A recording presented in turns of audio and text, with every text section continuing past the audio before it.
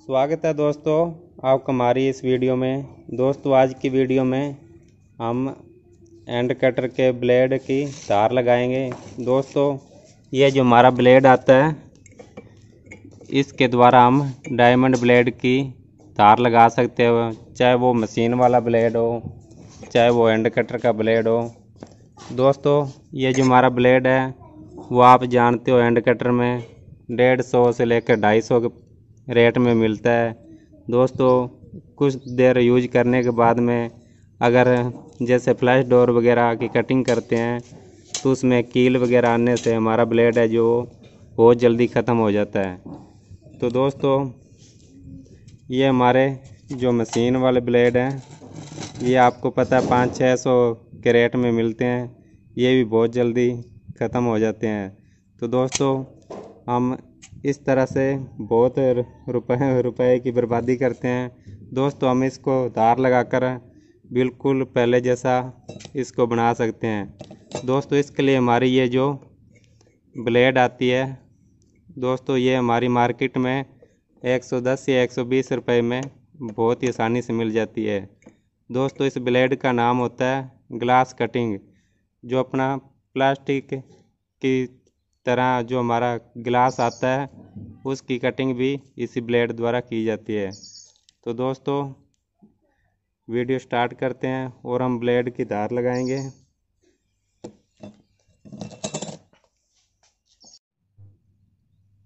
दोस्तों, इस ब्लेड की हम दो तरीके से धार लगा सकते हैं।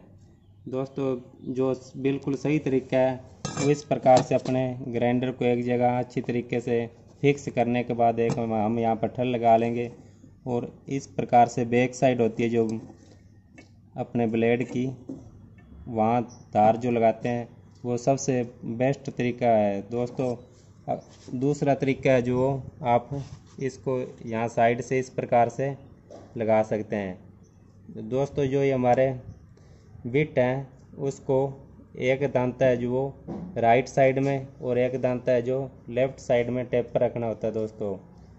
तो दोस्तों, उसका जो देसी जुगाड़ है, वो हम अगली वीडियो में पार्ट टू में लेकर आएँगे।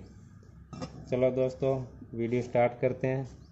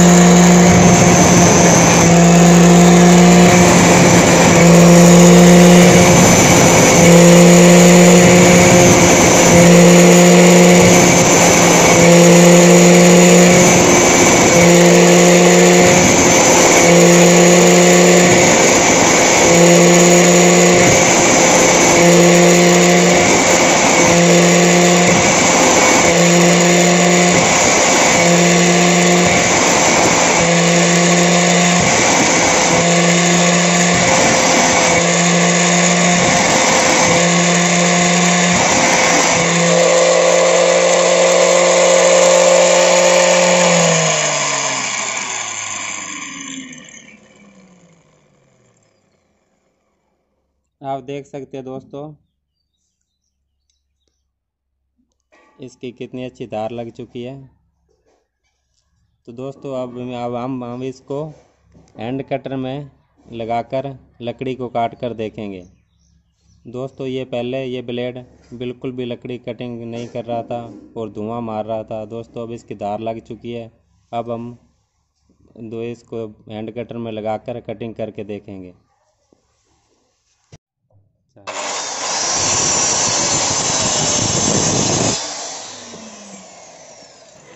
दोस्तों अब आप देख सकते हैं कितनी अच्छी तरीके से कटिंग हो रही है।